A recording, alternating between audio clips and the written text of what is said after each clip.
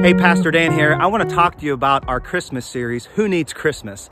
We opened up with it this past week and we talked about how we all need something to do. Do you know Christmas time is one of the times when people are the most discouraged and depressed? It's because they don't realize that God created them for a purpose, for something to do.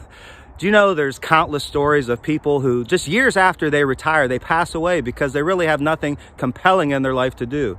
Did you know that prisoners with life sentences sleep an hour, an average of 12 to 14 hours a day because they have nothing that compels them to get out of bed? Well, Jesus came to this earth for a mission, for a purpose, to do something for us that none of us could do for ourselves, to forgive us of our sins. And Jesus wants us to take our lives and use them for the good of others as well. So as we talked about this past week, uh, there's things for us to do, to look around, to be aware of the people that surround us. And to show them the love of Jesus. So I pray that you do that this week. This coming Sunday, we're going to talk about something else that Christmas brings us, and that's someone to love. Can't wait to hear the message from Pastor Jim. He's going to be sharing it this weekend.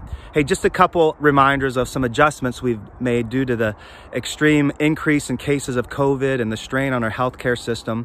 Uh, we're suspending children's ministries through the end of the year. Uh, we're just going to be focusing on that Sunday worship hour.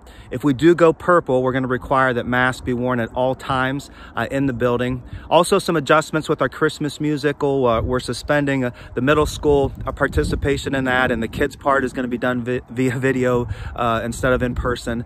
Again, just some safety measures that, that we need to take.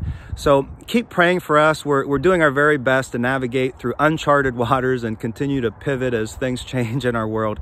But nothing has changed about Jesus. He's the same yesterday, today, and forever, and He is always with us. So, hey, love you, praying for you. Uh, keep the faith and keep our eyes on Jesus in this Christmas season. Bye bye.